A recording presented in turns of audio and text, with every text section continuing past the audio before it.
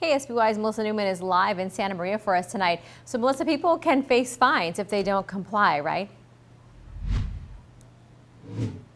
Karina, that's right. People can face a fine up to $1,000 and even jail time. So in order to ensure everyone who needs a mask can get one, the county has set up locations like here off Centerpointe Parkway where they're giving masks away for free. Santa Barbara County is now raising the stakes in the fight against coronavirus, now requiring more people to wear masks than ever before. Under a new ordinance that goes into effect Tuesday, everyone over the age of 13 must have a face covering while conducting business in public, such as while at the grocery store, pharmacies, and even while riding public transportation. All employees of businesses that interact with the public also have to wear masks. We are just rolling with whatever the guidelines are from the Santa Barbara County Public Health and Environmental Health regulations that they are um, asking us to do. At Piper's Kombucha Brew in Old Town Orcutt, they've put up signs to remind customers of the regulations and what they plan to enforce. No, there's not going to be loiter, you know, any kind of like loitering, hanging out um, until uh, we're allowed to do that.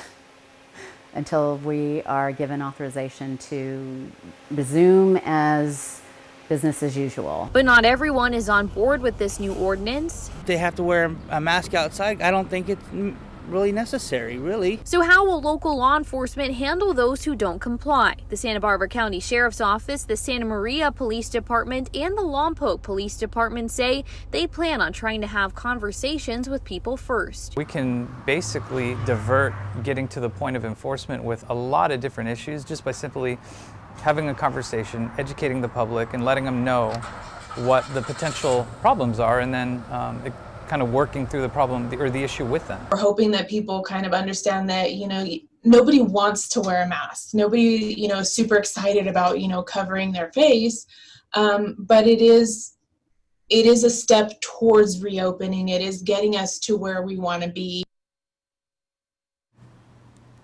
Now, there are exemptions to the ordinance. The county says those who have medical conditions and can't stay at home are asked to carry a doctor's note if they're concerned about being prevented access to a location. Reporting live in Santa Maria, Melissa Newman, KSBY News. Melissa, thank you. The county says wearing masks while exercising outdoors is only recommended and not required. However, they say it's still best to wear one when social distancing is not possible.